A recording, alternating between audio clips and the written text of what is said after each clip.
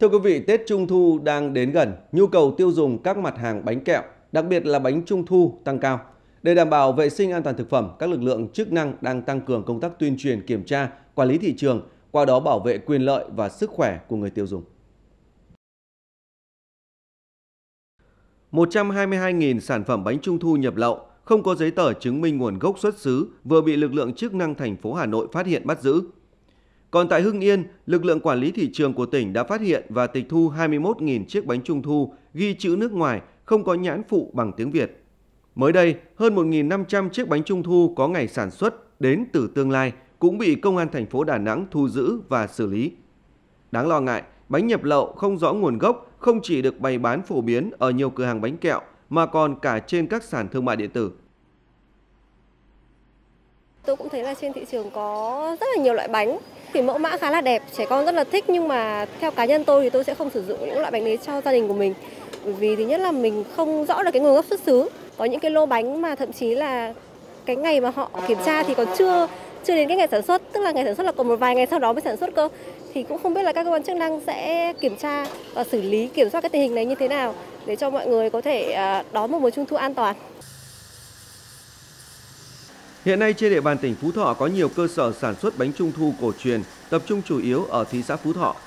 Nhằm tăng cường đảm bảo an toàn thực phẩm, Tết Trung thu năm 2023, tỉnh Phú Thọ đã thành lập 3 đoàn kiểm tra liên ngành, tổ chức kiểm tra, giám sát việc chấp hành các quy định của pháp luật về an toàn thực phẩm đối với các cơ sở sản xuất, chế biến, kinh doanh thực phẩm, tập trung vào các cơ sở sản xuất, kinh doanh bánh trung thu, bánh kẹo, nước giải khát, cơ sở kinh doanh dịch vụ ăn uống, thức ăn đường phố,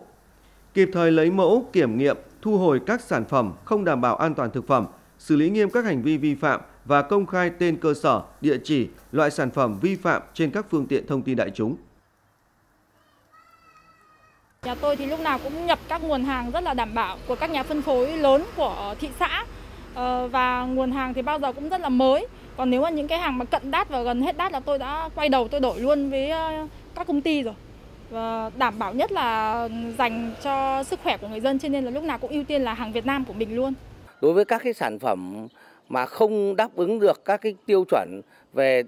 về ừ, bảo đảm an toàn thực phẩm, đoàn cũng đã nhắc nhở và chuyển cái quyền xử lý cho tuyến huyện và đoàn kiểm tra liên ngành vẫn tiếp tục kiểm tra giả soát trên địa bàn nhằm đem lại một cái Tết Trung thu thật vui, đảm bảo an toàn thực phẩm và không có vụ ngộ độc thực phẩm nào xảy ra.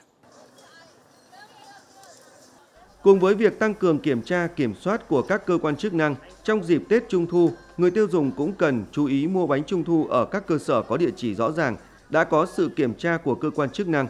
Bánh Trung Thu để lâu hoặc ở môi trường nóng, ẩm rất dễ bị mốc, hư hỏng, nên người tiêu dùng phải kiểm tra trước khi mua dù thời hạn sử dụng vẫn còn.